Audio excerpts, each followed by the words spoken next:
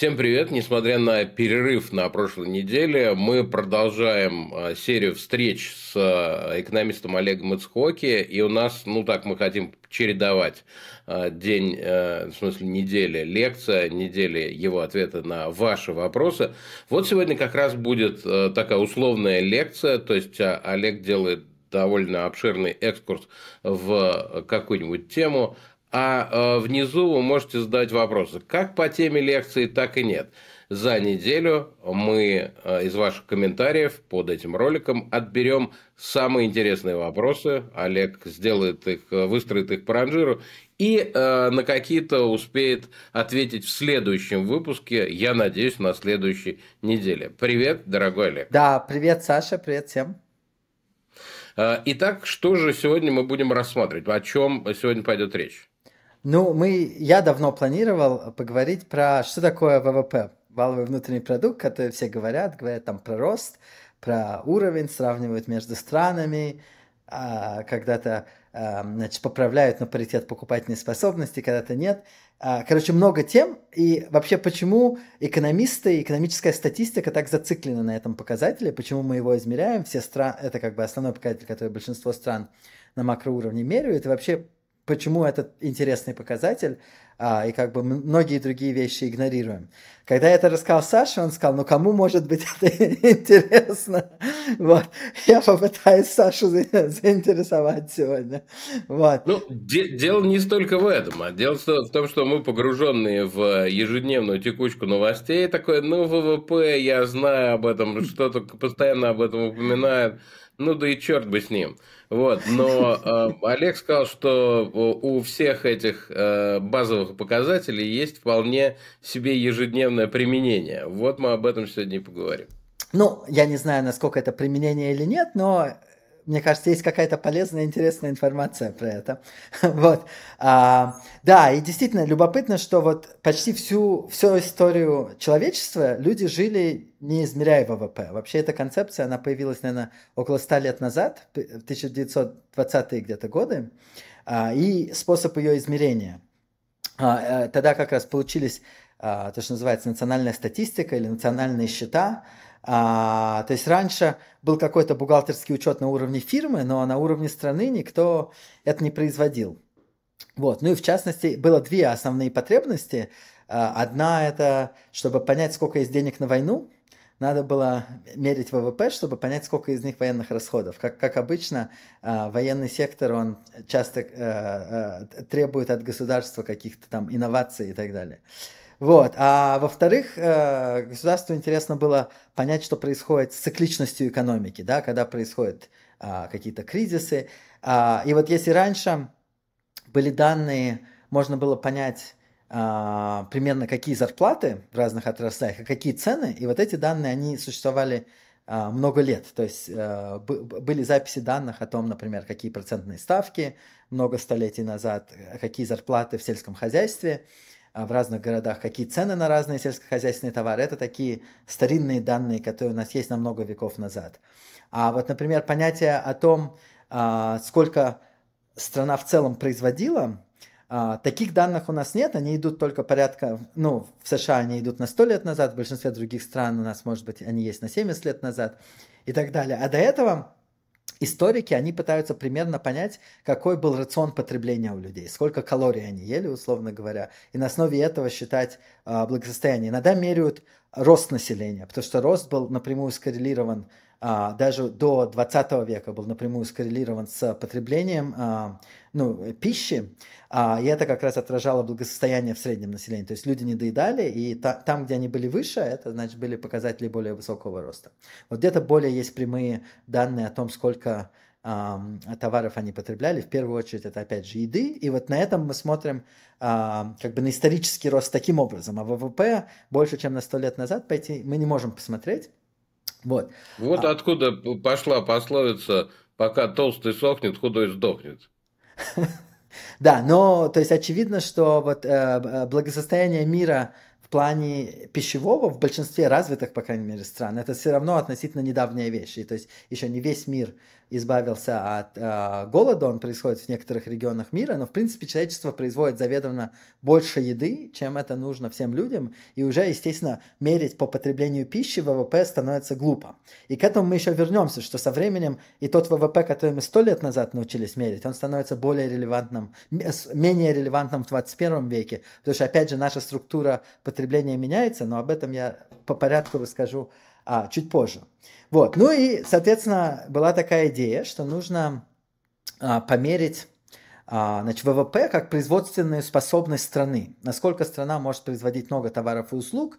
Ну, в частности, если есть какие-то государственные потребности по изыманию налогов или товаров, или like, э, труда, например, насколько у государства есть такая возможность. Для этого нужны были а, а, вот такие национальные статистические а, а, учет или счета, а, и ВВП это такая концепция, которая, с одной стороны, меряет совокупные доходы страны. То есть, если посмотреть на все заработки там в плане зарплаты, заработки э, доходности на капитал, то есть если у кого-то есть какой-то станок или машина, и он может ее, его дать в аренду, он какую-то, какие-то деньги за это а, получает. А, квартиру, если кто-то сдает, то это квартира, значит, капитал человека, и он может ее сдать, это будет тоже частью, значит, заработка, и это попадает в ВВП. А, ну, а, да, и какие еще есть части заработка? Да, ну и прибыли фирм тоже попадают в это. И значит, ВВП с одной стороны можно померить по заработкам, а с другой стороны его же можно померить по расходам. Да, то, на что э, это заработанные деньги тратятся, это потребление, э, это государственное потребление, потому что государство покупает товары и услуги, и это инвестиции, сделанные либо частным сектором, либо э, значит, государством. А, и дальше есть еще чистый экспорт. То есть экспорт – это часть производства, а импорт с минусом входит – а, как бы э, э, получается, что если страна много импортирует, то эта большая часть потребления ушла на заграничные товары, которые не произведены а, в домашней экономике, и поэтому они не являются частью ВВП. Вот таким хитрым образом это меряется. То есть, если страна много экспортирует, то ВВП больше, если она много импортирует, то при прочих равных а, а, ВВП меньше. Вот. Но, значит, но почему мы все это меряем? Это не отвечает на этот вопрос. Да? То есть идея была такая красивая статистическая картинка, чтобы знать, что в экономике происходит. Может быть, это полезно. Но есть три основные причины, почему мы меряем ВВП. То есть, во-первых, Идея такая, что мы хотим померить, как экономисты, одна из концепций, которой мы заинтересованы, это благосостояние населения. А, значит, это на самом деле вопросы, которые пришли в, экономику. Э, наука называлась политическая философия когда-то, до того, как экономика появилась. Вот это 300, 300 лет назад часть а, а, такой политической философии превратилась в экономику. То есть Адам Смит, он был профессор, по-моему, это называлось политической философией. Он был, считается, первый экономист. И потом через столетия после него это оформилось в такую цельную науку, которую мы стали сто лет назад, где-то 120 лет назад называть экономикой. Вот. До этого это была политическая экономия. Вот. Э, э, и, э, значит, хочется померить благосостояние, счастье людей напрямую мерить очень сложно, то есть мы, экономисты иногда пытаются напрямую задавать вопросы о счастье. Кстати, Дэнни Канеман, про которого мы э, говорили в прошлый раз, он много часть его научной карьеры, он занимался вопросами счастья, можно ли это померить и объяснить и так далее. Но это вообще отдельная а, часть науки, многие экономисты этим интересуются. Вот. Но поскольку счастье мерить сложно, это концепция, в которой слишком много всего включено, то экономисты делают простую предпосылку. Они говорят, что в целом люди любят потреблять, и больше потреблять лучше, чем меньше. Им потреблять какие-то товары, услуги. И в целом и каждый человек отдельно, экономика в целом хотят больше потребления по сравнению, чем это лучше, чем меньше. Поэтому если страна производит больше, в частности ВВП больше, то это некоторый ресурс, который можно потом потреблять. То есть страны в целом, которые производят больше, должны и потреблять больше. Если мы хотим померить благосостояние, ВВП может быть а, такой а, полезной а, промежуточной точкой для измерения благосостояния. Более того, значит, вот, когда мы знаем, сколько страна а, а, использует рабочих рук, рабочих усилий, труда мы это называем, сколько там земельных ресурсов и капитальных ресурсов, то дальше ВВП – это некоторое превращение вот этих ресурсов, трансформированное производительностью страны. И если ВВП растет, если мы видим, что количество людей не растет в экономике, а ВВП растет, то это, как правило, означает рост производительности в экономике. И нам интересно мерить производительность, насколько значит, лучше производительность стала в какой-то год по сравнению с предыдущим или на каких-то дол- долгих интервалах. Это, значит, вторая вещь, которой экономисты а, интересуются. А, ну и, наконец, и это очень важная вещь, которую надо понимать при экономистах. Экономисты сильно отличаются от а, других ученых. Другие ученые, они как правило, пытаются просто понять, как устроен мир. То есть это могут быть и естественные науки, которые пытаются а, понять, как а, физический мир устроен, и там более точными законами описывается. Но это могут быть и социальные науки, в которых пытаются понять законы поведения людей. Но экономика это одна из немногих наук, где люди хотят не просто понять, как люди себя ведут, но еще какие интервенции можно сделать, чтобы улучшить качество жизни людей. То есть в этом смысле, ну, в некотором смысле экономисты хотят думать о себе как о врачах, но с точки зрения экономики, что они смотрят, какие интервенции улучшат благосостояние, и делать эти интервенции. Вот эта часть экономики, которая этим занимается, она называется нормативная экономика. То есть есть позитивная, это понять, как мир устроен, и такие экономисты, которые думают о себе, что они вот такие чистые ученые, они хотят только позитивной экономикой заниматься. Но у большого количества экономистов есть соблазн еще сделать эм, э, всякие э, советы давать по поводу экономической политики. А чтобы давать советы по поводу экономической политики, мы должны уметь померить, как одна или другая политика повлияет ну, на благосостояние людей, мы хотим. Но поскольку благосостояние напрямую померить сложно, то мы хотим мерить ВВП и смотреть, значит, вот какие-то, а, значит, если государство принимает меры по развитию экономики, да, насколько они а, а, приносят рост, а насколько, может быть, нет. Вот, это, это третья причина, почему мы меряем ВВП. У меня тут есть подсказ, э, это шпаргалка о том, о чем я хотел поговорить.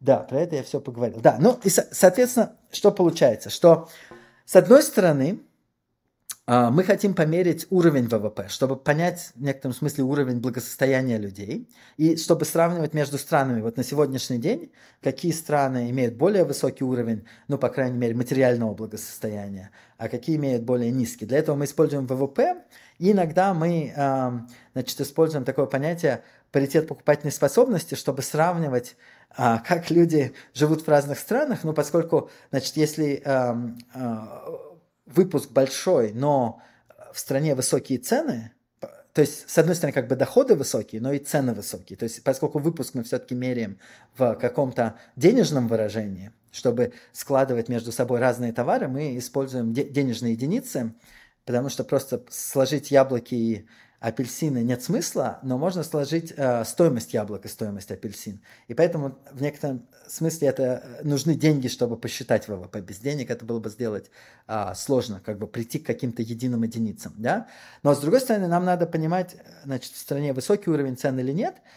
И есть такая закономерность, что в более богатых странах более высокий уровень цен, что как бы там, где люди зарабатывают больше денег, им приходится частично больше платить за товары. И то есть если страна а, а, в 10 раз богаче, а, то уровень цен примерно там, в два раза выше. А, вот, примерно такая закономерность. То есть, когда доходы в стране в 10 раз выше, то и товары стоят в два раза дороже, то есть в реальном выражении страна получается как будто бы в 5 раз богаче, а не в 10. Вот. Это, это некоторое свойство, почему нам нужно а, считать приоритет покупательной способности. Значит, поскольку это было в новостях, я хотел рассказать одну вещь, что, что мы сравниваем по паритету покупательной способности? Мы, мы сравниваем ВВП на душу населения. Нет никакого смысла сравнивать общий ВВП между странами по паритету покупательной способности. Мы должны сравнивать э, ВВП на душу населения, потому что в странах разное количество людей живет. Нет никакого смысла э, сравнивать совокупный объем ВВП, э, э, вот, потому что мера благосостояния должна быть как раз на душу населения. Вот. А когда мы говорим о всем ВВП страны, мы как бы говорим о общей покупательной способности страны, но она-то как раз должна быть померена в деньгах и не использована в этом случае не используем, когда мы говорим о размере страны, мы не используем а, а, паритет покупательной способности. Вот это, поскольку возникало в новостях в прошлом году, такое короткое объяснение. Вот, а, значит, ну и дальше, естественно, есть показатель роста. И вот когда говорят про рост экономики, как раз говорят про рост а, ВВП. Но теперь есть целый ряд интересных вопросов. Значит, а, а, вопрос, который задает мне Саша, он состоит в том, значит, а кроме ВВП что-то еще важно? Ну, понятно, что благосостояние от других вещей зависит. Ну, и, во-первых, естественно, нас интересует не сколько страна производит, а сколько страна потребляет. Если очень много произведено, но это не идет в потребление, а, а, уходит куда-то, и можете сами себе представить миллион разных примеров, куда это может уходить, а, то, в принципе, это благосостояние не выражается, потому что на потребление людей это не влияет. И действительно, есть ряд стран, в которых производство очень высокое, а потребление, оно пропорционально сильно ниже. Ну вот, э, естественно, как можете себе представить, Китай это один из примеров, где есть и большой ВВП, и быстрый рост ВВП, но при этом уровни потребления существенно ниже, чем во многих уровни доли потребления ВВП существенно ниже. Да, это страна, которая, во-первых, очень много сберегает и инвестирует, и это как бы забирает часть ВВП из потребления. А во-вторых, очень много экспортирует и не так много импортирует. То есть часть выпуска еще уходит как бы извне страны. И в некотором смысле это можно об этом думать, как некоторая политика роста в Китае таким образом устроена. Но дальше возникает вопрос, от этого роста людям хорошо или нет? Если, как бы, если политики зациклены на ВВП как на мере успеха, а, и как бы получают а, продвижение по службе, когда ВВП большой, то ВВП можно искусственно завышать, не приводя к а, росту благосостояния населения. И это как раз есть несколько стран вот с таким свойством. Китай классический пример, другой классический пример это Сингапур, где гораздо более высокие уровни Э, ВВП на душу населения, чем потребление на, э, на, на душу населения. И это то, о чем, конечно, экономисты должны заботиться. Но кроме этого, мы предполагаем, что люди хотели бы много потреблять, но при этом не очень много работать. Поэтому другая вещь, на которую мы смотрим, это какие часы люди работают. И вот э, за последние 50 лет систематически, например, в Америке люди не стали работать больше, они стали работать чуть-чуть меньше за 50 лет. Но в Европе а, рабочие часы упали на типа 30%. То есть там рабочая неделя в Европе, она около 30 с небольшим часов, то есть 32, по-моему, часа в неделю рабочая неделя в Европе. В Америке... Да, Европа все, все больше забивает вообще. Вот, теперь мы выходим к важному вопросу, про который мы сейчас поговорим. Ну и вот, казалось бы, относительно этой мере, э, действительно, европейцы потребляют примерно на 20% меньше, но и работают на 20% меньше. И можно себе, себе вполне себе представить, что с точки зрения понятия европейцев о благосостоянии, их выбор ничуть, ничуть не хуже, чем американский выбор, несмотря на то, что это приводит ну, к более маленькому ВВП, ничего страшного. Да? И вот как раз в Европе основные дебаты, они идут э, на следующий счет, что в целом совершенно не очевидно, что высокий ВВП и большой его рост – ну, на тех уже уровнях, где находится Европа, он лучше для благосостояния, чем меньше работаешь, меньше зарабатываешь, но и меньше неравенства, например, в экономике, довольно-таки высокие уровни потребления, а, очень много услуг, которые предоставляются государством, и из-за этого можно жить с более низкой зарплатой, чем, например, в Америке. И вполне себе можно представить, что ну, на каком-то уровне а, это становится правильным выбором для многих стран. Да? При этом интересно, что в некотором смысле страны, которые растут очень быстро, как правило, растут а, с низких уровней. То есть самые высокие темпы роста как раз в странах, которые а, и потребляют не так много, и рост потребления не такой большой, и как бы они работают на будущее.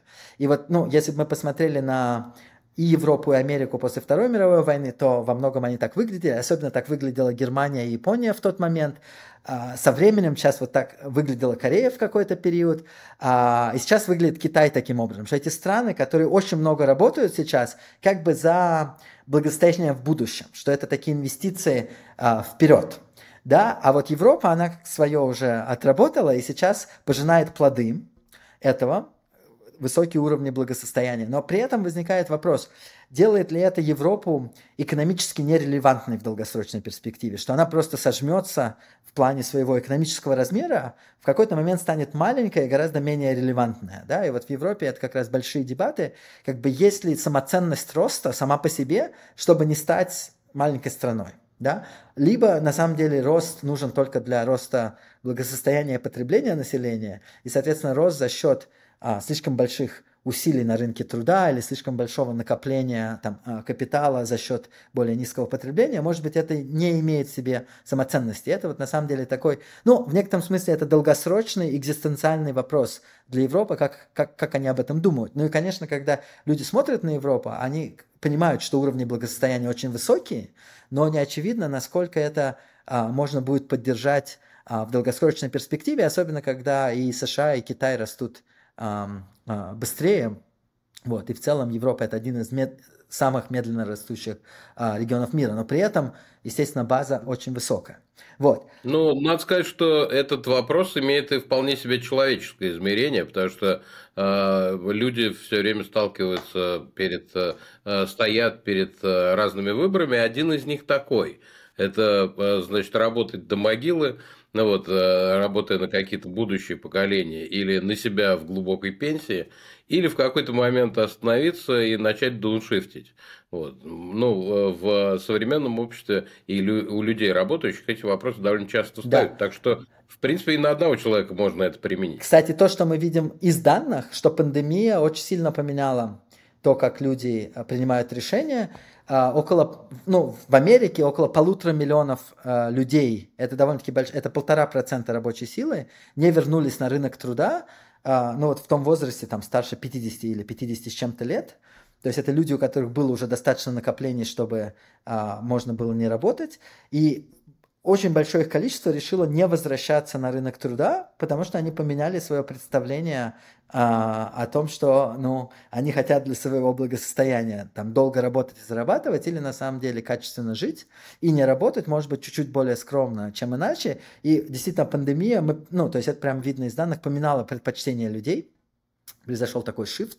А, вот, и, значит, ну вот вопрос, это как бы перманентный сдвиг для всех когорт, или это повлияло только на когорту тех, кого было за 55 во время а, пандемии? То есть это мы э, через сколько-то лет а, узнаем, произошло ли ну, возвращение к более высоким уровням а, занятости. А, вот, это то, про что я хотел рассказать. Да, а, ну, одна очень важная мера, про которую мы не поговорили, это, ну, мы говорили, что в прошлом смотрели на рост людей – как уровни благосостояния, потому что рост был скоррелирован сильно с потреблением. Вот. А сейчас смотрят на а, продолжительность жизни. Продолжительность жизни очень сильно скоррелирована с благосостоянием.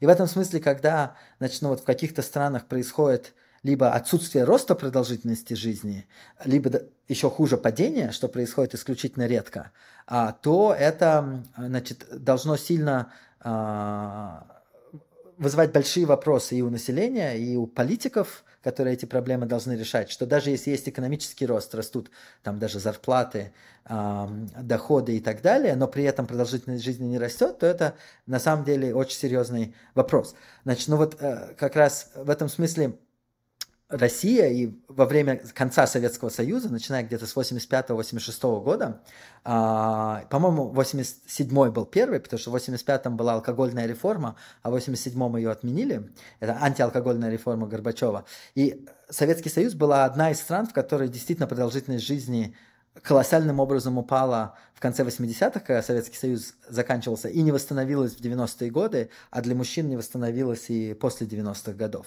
И это как раз, ну вот, если мерить помимо а, экономических последствий распада Советского Союза, то были вот эти колоссальные социал-демографические, которые явно влияют на благосостояние людей не меньше, чем уровни потребления. Да? И а, что, значит, конечно, а, важно, что одна из стран, в которых недавно произошло падение продолжительности жизни, по крайней мере для категории людей, не для всех в целом, а для категории, это США. И США вот по сравнению с Европой, несмотря на то, что она систематически, США растут быстрее, чем Европа, продолжительность жизни хуже, чем в Европе. А, и а, для некоторых категорий людей это связано вот как раз с эпидемией этих обезболивающих а, наркотиков, которая там длится уже 20 лет, и люди, которые ее потребляют больше всех, они это там типа middle age мужчины э, с белым цветом кожи. Э, в этих категориях произошло падение продолжительности жизни. И это как раз в некотором смысле самые не а, благополучные в среднем категории людей, как оказалось. Ну и помимо и, и одна из причин а, значит, популярности Трампа, что эти категории людей как раз чувствуют себя брошенными а, в современном американском обществе. Это была одна из больших причин того, что они голосовали за Трампа в 2016 году. Естественно, сейчас это частично поменялось, частично нет, но значит, вот когда значит, благосостояние, оно становится не для всех, а для части населения, или какая-то часть исключена, то это, естественно, приводит к росту а, таких популистских предпочтений среди населения. И в этом смысле это одна, ну, одна из закономерных причин, почему Трампа выбрали в 2016 году. Вот, про что еще я хотел поговорить. Um, я хотел про еще несколько вещей поговорить. Но один вопрос такой. В каких условиях ВВП хорошая мера, да? И, значит, вот любопытно было, что как раз в 20-е годы эту меру придумали, потому что она очень хорошо отражала а, и структуру экономики, и структурные переходы, которые тогда были. Это был период перехода от сельского хозяйства к промышленности. И ВВП, и производительность труда, они особенно хороши для измерения дел в промышленности. А, там их более четко можно померить, гораздо проще сравнивать, потому что а, мы можем более хорошо сравнивать качество промышленных товаров. И, а, значит, соответственно, производительность труда имеет много смысла, потому что можно сказать, ну, сколько товаров конкретного качества было построено конкретным количеством людей. Все это как бы сошло, сошлось вместе, и вот в 20-е годы придумали концепцию ВВП, чтобы измерять прогресс индустриальной экономики и производственные возможности индустриальной экономики. Но тут есть несколько условий, когда все эти измерения имеют смысл. Главное условие – это то, что мы находимся в рыночной экономике. Потому что, как вот мы говорили, чтобы померить агрегировать экономику, нам нужно ее агрегировать, используя цены. Мы не можем складывать а, яблоки, апельсины, а станки, машины, а, эти самые прически, а, количество блюд, проданных в ресторане, не используя цены. А взвешивая по ценам, это все нам приводит это к единому знаменателю, и, соответственно, мы можем это агрегировать. Но тогда вопрос возникает, а почему мы взвешиваем товары по их ценам? Да? Какой смысл а, мерить товары? А, почему, значит, тот факт, что килограмм яблок стоит 1 доллар и килограмм апельсин стоит там полтора доллара, какой смысл это имеет с точки зрения измерения ВВП? Почему мы это должны в каких-то долларовых единицах? И вот как раз ответ на это, это то, что это рыночная экономика. И в рыночной экономике, когда ты идешь в магазин и покупаешь яблоки, это отражает твою а, полезность или твое благосостояние, рост благосостояния от потребления этих яблок. Потому что ты бы не стал их покупать, если бы они тебе соответствующее количество благосостояния не принесли, как раз ты сравниваешь, как тебе потратить этот последний, а, последнюю денежную единицу, доллар или какую-то другую денежную единицу. И, значит, поскольку ты делаешь это сравнение, то мы можем сравнивать разные товары по их ценам, потому что они отражают как раз предпочтения людей, которые делают выбор своей корзины товара, смотря на эти цены. Это как раз мы это обсуждали уже, это первая теорема благосостояния, которая нам это гарантирует. Но это результат более а, общий, что если цены рыночные, то мы можем по ним а, мерить объем производства в экономике с точки зрения благосостояния, которое это производство приносит. Значит, какие возникают автоматические проблемы? Есть одна старинная и одна новая. Старинная проблема связана с тем, что ну, если ты не в рыночной экономике, то цены не отражают а. То есть, может быть, цены либо занижены, а, то есть государство может требовать, чтобы цены были на какие-то товары слишком низкие, а, либо вообще цены могут не отражать полезность, которую люди получают. Да? То есть в плановой экономике существуют какие-то цены, но они часто могут не соответствовать. Вот. И как то, что мы обсуждали, что если бы в плане могли бы построить а, такую матрицу большую, которая говорила, как распределять ресурсы, то эта матрица бы как раз дала не совсем то, что мы называем цены, но она бы дала теневые цены, которые государство должно использовать, и по ним тоже можно мерить выпуск. Но поскольку ни одна плановая экономика до конца до этого не дошла, они все равно используют какие-то цены, просто цены оказались не рыночные, из-за этого измерение ВВП а, в плановых экономиках, оно не вообще соответствует каким-то интересным показателям. Да? Ну и классические примеры, если, например, государство хочет произвести очень много, а, сделать военных расходов, произвести много военной техники, то в целом это в потребление людей не попадает, эти вещи, которые сделаны не по рыночным ценам, как правило, и значит непонятно, как их а, ВВП считать. Они для благосостояния населения не очень полезны. Другой пример а, а, это если а, государство, например, заставит людей копать ямы, а потом зарывать их назад. И оно будет платить людям зарплату за это. Это будет частью ВВП, но никак не повлияет на благосостояние людей. И государство может такие вещи делать. И часто политика государства, ну, э, перекладывать бордюры, да, это вот классический пример, когда можно, а, как, э, всегда смеются над экономистами, что они приводят примеры с копанием ям и их зарыванием, но это как раз вот э, укладывание бордюров, это один из классических примеров, когда даже несмотря на все взятки, создается какой-то продукт, потому что людям заплатили зарплату за его производство, и это так или иначе каким-то образом попадает в ВВП, Но если рыночная цена была бы ноль у этого продукта, то оно бы должно было попасть с весом ноль. и не считаться частью ВВП. А если это было сделано... Да, но с бордюрами там же и, их же еще и кто-то произвел. Да, и вот по, и этому человеку заплатили по ценам, которые не рыночные, а которые государство придумало. Это как раз пример, почему мерить ВВП а, в, такого, в экономиках, где много такого рода производства, а, плохо. И вот как раз плановые экономики – это такой хороший а, пример. Точно так же это и рыночные экономики с огромным военным сектором а, или с огромным сектором государственного потребления, как государство производит непонятно что, а, это точно такие же примеры. Но это старинная, старинная проблема. Есть гораздо более интересная новая проблема с ВВП. И значит, вот что произошло с экономикой, в которой мы живем последние, ну, более интенсивно 20 или 30 лет? А, а, все большее и большее количество товаров мы потребляем, ну, услуг скорее, потребляем по цене ноль. То есть, когда люди проводят время в Инстаграме, в Фейсбуке, в Снапчате, в ТикТоке, на Ютубе, они потребляют большое количество контента, который кто-то для них произвел, но для них это цена ноль. Понятно, что все эти платформы живут за счет работодателей, и там есть продажи рекламы, но реклама это один из товаров, который на этой платформе продается. А есть друг, друг, другой товар или услуга, это вот развлекательная услуга, которую мы получаем на YouTube, или даже в тот момент, когда вы заплатили за подписку на Netflix или на каком-то другом стриминг-сервисе, потом вы можете неограниченное количество часов смотреть э, фильмы там, то фактически вы получаете потребление по цене ноль.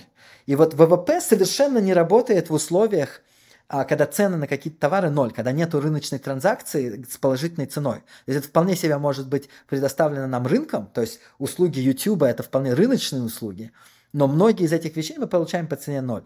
И чем больше мы двигаемся в экономику, построенную на компьютерах, в которой все большую роль будет играть AI, в которой все большую роль будут играть роботы, там, где предельные издержки производства близки к нулю, то есть в тот момент, когда одна единица произведена, вторую единицу, ну то есть как только фильм создан, неважно сколько количество людей его посмотрит, да, а как только там, скажем, книжка написана, аудиокнига записана, это делается один раз, и предельные издержки рас распространения этого, они равны нулю. Чем больше мы живем в такой экономике, где все большее количество цен равно нулю, даже если вы платите подписку за какие-то сервисы и так далее, цена за каждую дополнительную единицу дальше равна нулю. ВВП перестает иметь смысл, да, и вот можете себе представить мир, как где а, все продукты будут относительно дешевые, там еда будет дешевая, а самые дорогие вещи это будет производство entertainment а для людей. И этот entertainment будет фактически производиться по цене ноль, мы только будем там платить а, там, а, в виде нашего внимания посмотреть рекламу за эти товары, да, то ВВП просто перестанет иметь смысл в такой экономике. И как бы с какой-то скоростью мы в том направлении двигаемся, а пока в основном... Олег, Олег предрек наступле... скорое наступление коммунизма. В общем, я думаю, что примерно так себе его представляю. Ну, мы же как раз говорили сколько-то э, раз назад о том, что мир, в котором будет э, у компьютеров и роботов э, сильное абсолютное преимущество во всем над людьми, в некотором смысле ты можешь думать об этом как о мире коммунизма, но более правильно об этом мире думать, где есть э, abundance, то есть из, излишек производства э, материальных благ, когда они перестают быть ограничивающим фактором. Э, и проблема состоит в том, что никто не хочет нанимать труд – и вот как раз с чем миру придется, о, о чем придется думать на много лет вперед, на десятилетия вперед, это как людей занимать. А, будет ли это проблема? Найдут ли люди себе как бы какое-то призвание в таком новом мире? А, причем этот мир, в котором, скорее всего, у нас будет налогообложение роботов, налогообложение AI, из этих налогов все будут получать довольно-таки высокий базовый доход. Опять, если фантазировать там на 50 или 100 лет вперед. Но что будут при этом люди делать? Это такой такая антиутопия тоже, которая вполне может нас а, ждать через какое-то количество десятилетий. Ну, не нас, а наших правнуков. Да? Вот. А, что здесь очень интересно, что, во-первых, нам придется придумывать что-то новое, помимо ВВП, чтобы это мерить, как бы рост э, благосостояния людей какими-то другими показателями. А, где мы это уже видим, что это наблюдается, что мы видим, что основные инвестиции делаются фирмами, которые на самом деле не э, те товары, которые они производят, во многом не являются основными товарами, которые они продают. То есть, если мы думаем о Гугле или Фейсбуке, они производят новую продукцию, очень много в нее инвестируют, но при этом результаты этой продукции они продают за ноль. а деньги получают за счет рекламы, да, и поэтому мы как бы меряем для нас эти фирмы должны как будто бы быть в секторе рекламы, хотя продукт, который они производят, и инвестиции, которые идут, они идут там в виртуальную реальность, а, искусственный интеллект, а, там augmented reality, metaverse, и это все, за что мы пока платим ноль. Но с точки зрения финансового рынка, куда направляются инвестиции, где капитализация компании большая, это в том, где, в принципе, ВВП сейчас фактически не производится, помимо, помимо рекламы. Вот. Что очень интересно, что в прошлом был некоторый момент, который чуть-чуть на это похож, но чуть-чуть не похож. И это был момент, когда люди перешли из производства дома в производство на рынке. То есть вот раньше, а, значит, а, мужчина ходил на работу часто было, а женщина оставалась дома и огромное количество услуг производила дома. И услуги, связанные с воспитанием детей, а, связанные с, с э, приготовлением еды, связанные с, со стиркой одежды. Во многом это лежало на женщинах, домашнее хозяйство, и это не было частью рыночной экономики. То есть за это не, не было монетарной транзакции, соответственно, это не было частью ВВП. И поэтому, значит, вот когда произошел переход, что больше и больше доля этих э, услуг стала предоставляться на рынке, а не внутри домашнего хозяйства, ВВП как бы сильно вырос. Поэтому в экономиках, где мало рынка, там как будто бы получается мало ВВП. То есть если рынок не обустроен таким образом, чтобы люди очень много друг другу услуг предлагали, ну, например, а, значит, а, вместо того, чтобы получать а, услуги, как это называется, психотерапевта внутри церкви или там, своего супруга-супруги, люди начали ходить к шинкам и платить им за это зарплату, это стало рыночной транзакцией, стало частью ВВП. И вот развитые общества, они все больше и больше делают специализации труда, а все больше и больше услуг предоставляется через рынок, а, и это как бы приводит к росту ВВП. Поэтому во многих странах ВВП еще занижен, ну, из-за того, что многие из этих услуг мы не меряем. И вот очень классный, интересный пример, это когда появилась стиральная машина. То есть до того, как были стиральные машины, все стирали дома, это было частью домашней экономики. После того, как стиральная машина появилась, они были настолько большие и дорогие, что это стало частью индустриального производства на самом деле. Что были стирки индустриального характера, куда люди приносили вещи, их стирали, а, и это было частью ВВП как услуга, которую предоставляли специализированные фирмы. Но в, как, в какой-то момент технология стиральных машин так улучшилась, что они стали домашним агрегатом. А, и вот в тот момент, когда они стали домашним агрегатом, они, люди стали покупать стиральную машину, но каждая стирка перестала быть рыночной транзакцией. То есть ты стираешь дома, это не рыночная транзакция, это ушло из ВВП. Поскольку у нас есть машина, то мы один раз ее покупаем, и это часть ВВП. И как бы структура сдвинулась. Вместо услуги, которую мы покупали, мы стали покупать агрегат. А, и это вот был такой интересный а, сдвиг, который ну, мы можем мерить в данных, и он это не слишком большой сектор экономики, но он чуть-чуть влияет на ВВП, как это происходит. Что, что интересно, что сначала ВВП как бы вырос из-за того, что это стали большой долей услуг, а потом снизился, когда мы просто стали покупать машины. И вот если мы подумаем про телевизор, то это делает ровно то же самое. Если раньше люди ходили там на концерты, а, в театр а, и так далее, то как только появился телевизор, то большой ты покупаешь телевизор один раз, это часть ВВП, но после этого ты получаешь очень много услуг от телевизора, находясь дома, и ты платишь ноль за это. И вот современная экономика, она все, возможно, все больше будет а, походить на такую вещь. Вот, значит, ну, пос- последнюю вещь я расскажу, и нам, надо, наверное, надо закругляться. Значит, ну, действительно, страны часто меряют свои успехи по росту ВВП. Почему страны это делают? Потому что все остальное померить намного сложнее. То есть, естественно, нам бы хотелось мерить напрямую благосостояние, а, но поскольку это сложно, мы меряем ВВП. Гораздо более, как бы, получается объективный показатель. Нам не нужно на субъективные оценки опираться. Это реально вот количество товаров произведено. Мы используем цены, чтобы их совместить. Потом как бы делим на уровень цен, чтобы убрать эффект инфляции оттуда, если все цены растут. И мы получаем меру, значит, вот реального а, выпуска экономики, то, что должно отражать ВВП. Если выпуск растет, это как бы хорошо, потому что можно больше потреблять. Но вот что очень интересно, что, в частности, корейский президент, это как раз был в 60-е годы, по-моему, 62-63 год, он, значит, назвал 62-й год а, годом, когда нужно сильно работать. А 63-й год он назвал годом, когда нужно работать еще сильнее. И вот смысл был, что была некоторая самоцель в росте производства, в удвоении там, ВВП и так далее. Люди должны были много работать и как бы не очень много потреблять. Людям запрещали, фирмам запрещали повышать работу людям. Фирмы должны были держать рост зарплат низким, а, и чтобы люди много работали. Это как бы вот такая индустриальная... Повышать зарплату. Запрещали повышать, да, извини, зарплату. А, и это, значит, была такая индустриальная политика, которая такая была устроить такой sweatshop, где люди очень много работали, это приводило к росту ВВП, и в дальнейшем это должно было привести к росту экономики и росту благосостояния. Но вот когда мы смотрим на такие эксперименты, которые многие страны делают, и тогда Корея была не вполне демократической страной, это вполне себе была такая а, рыночная диктатура. И президент это как раз был, а, как же его звали, Ли президент, и вот эта его дочка, ей был объявлен импичмент около 10 лет назад. А это был как раз ее папа, и он был вполне себе авторитарного типа а, президента. Действительно, Корея выросла. Но когда мы смотрим на такие эксперименты, мы на самом деле не знаем, а, значит, э, Корея, когда она росла, это было как бы хорошая вещь, что она такими драконовскими способами росла, или это было на самом деле за счет довольно-таки низкого благосостояния людей. И вот ну, для отдельных стран у нас есть оценки. Например, а, есть довольно-таки знаменитая статья, которая а, делает такие оценки для сталинской индустриализации. Да? И, ну, это, кстати, статья, там много авторов, Гуриев, Сонин, Голосов и Черемухин.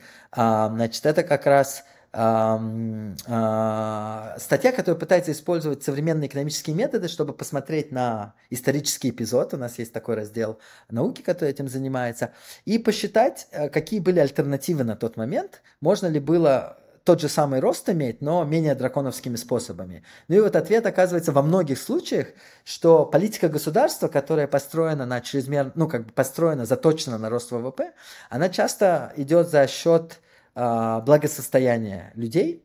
А, то есть люди там а, должны смириться с каким-то рядом ущемлений, которые больше, чем те, на которые бы они добровольно захотели бы пойти ради а, роста а, потребления. Вот. И, и это в общем, довольно интересно, можно сделать для разных стран, можно смотреть на период а, роста в Китае, насколько у этого есть такие же свойства, и статьи есть на эту, на эту же тему и так далее. Вот. Но при этом, поскольку для людей все равно померить ничего другое нельзя легко в реальном времени, вот в, в моменте, то все равно многое политика, она заточена на это. Но в частности в Китае значит, повышения политические получались как раз, если регион а, показывал хороший рост ВВП, то, соответственно, лидер этого региона получал продвижение по партийной линии и мог работать в регионе повыше и потом дойти до центрального аппарата.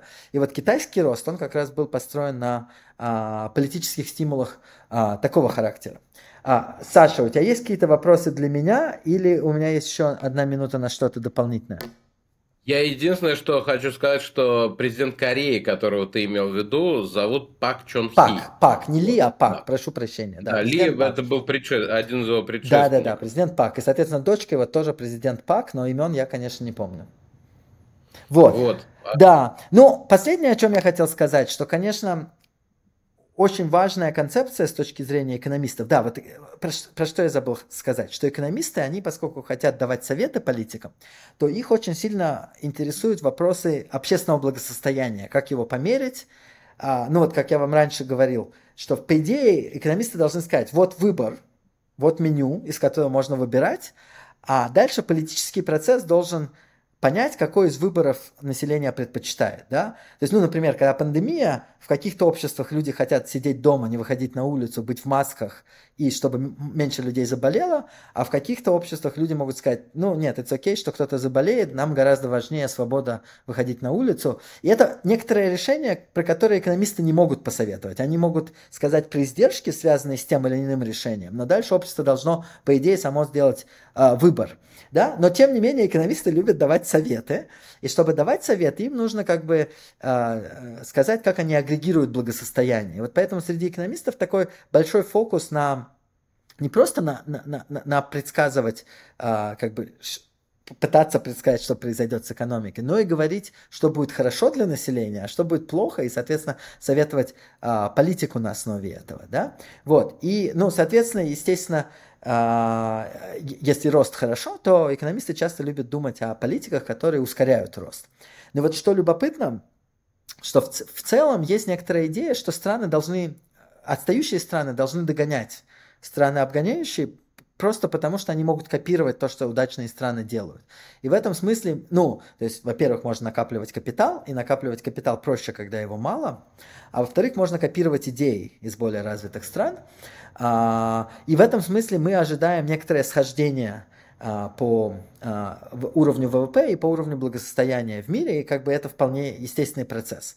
А, вот. В данных оказывается, что этого не так много, что вот этого схождения между странами, что в течение сотни лет часто оказывается так, а, что э, вот этого convergence или схождение между странами происходит, и те страны, которые были развитыми или более богатыми сто лет назад, большинство из них так и остаются опережающими, а те страны, которые были, э, соответственно, отстающими, остаются отстающими даже сто лет спустя, и значит, это огромный вопрос в экономике понять, а, почему так происходит.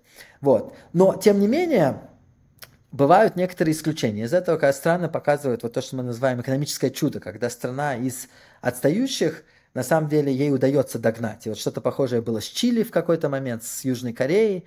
А, как бы большой вопрос, насколько Китай зак- сможет закончить этот транзит. Но вот тут очень важно, что в таких странах, как правило, а, встает а, дилемма между значит, высоким уровнем благосостояния и высоким уровнем роста. Да, это часто выбор, который вот странам надо делать. Это ровно почему я говорил про Южную Корею, что значит, одна из интерпретаций того, что они делали, это за счет того, что вот текущее поколение должно было сделать жертву, они, значит, догоняли другие страны, чтобы следующие поколения, эм, ну, как бы жили лучше. Значит, ну, мы до конца не понимаем, то есть Корея выглядит как случай успеха. Есть очень много стран, которые пытаются использовать активную политику, и это к успеху не приводит. Но Корея выглядит как случай успеха. Вот. Но до конца сложно с уверенностью знать, что это значит не было одно поколение, принесенное в жертву ради благосостояния будущих поколений. Вот. То, как устроен политический процесс в либеральных демократиях, он скорее похож на обратное. Это когда текущие поколения стариков на самом деле принимают политики, э, политику, которая э, плоха для будущих поколений молодых людей. В частности, когда страна берет много в долг, это ложится, естественно, бременем на будущее поколение. Это как раз обратная той вот стратегии роста, которая была там и в Корее, и сейчас э, в Китае. Это такие стратегии, которые как бы на будущее. Нету долга, наоборот, ты очень много производишь, мало потребляешь сегодня, чтобы следующие поколения э, жили лучше. Ну вот э, поэтому, э, значит, э, один из тезисов это то, что люди старше какого-то возраста просто, ну, не должны, наверное, принимать решения о том, в каком направлении двигается страна.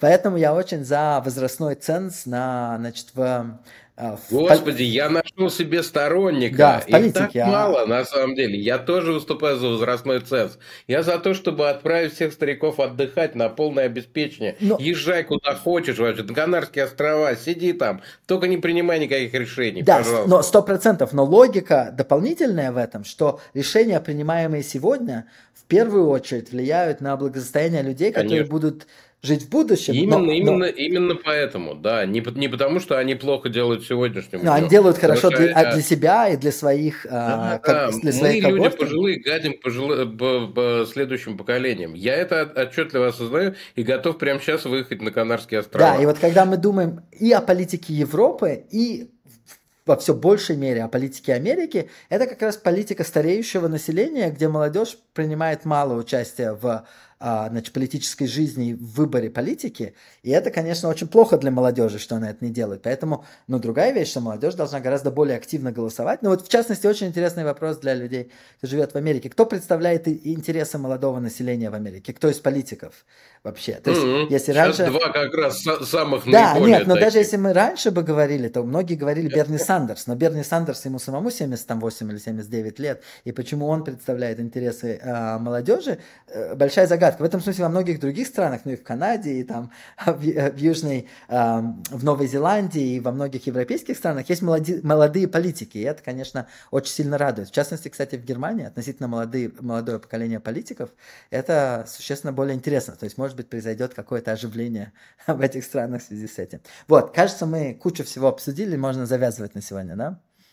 Спасибо большое, дорогой Олег. Я что хотел сказать на прощание нашим зрителям, это, во-первых, поставьте лайки обязательно, по-моему, э, Олег более чем заслужил. Э, вот, а во-вторых, э, дорогие друзья, под этим роликом есть комментарии, в них можно задавать вопросы как по материалу сегодняшней лекции, так и по материалу э, лекциям прошлых э, выступлений Олега, так и вообще совершенно не связанных. Вдруг там будут интересные вопросы. Сначала я Олегу отберу, а потом он их выстроит по ранжиру, и те, которые мы успеем в следующий раз обозреть, вот на них Олег и ответит. Так что чем выше качество вопроса, тем больше у него шанс прозвучать и э, получить освещение в нашем следующем выпуске. Спасибо, дорогой Олег. Олег Исхоки, э, лучший лектор всех времен народов. Пока, хорошего дня.